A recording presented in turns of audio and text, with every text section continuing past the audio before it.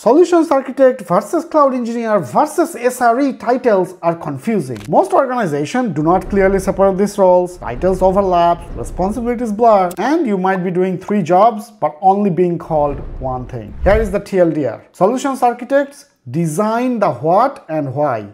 The important components are system design, tech choices, influencing stakeholders, and proof of concepts. Next, cloud engineer. They build and ship the how. Deploy infrastructure, automate CI/CD, and manage environments. Next is SRE. SREs guard the health of the applications.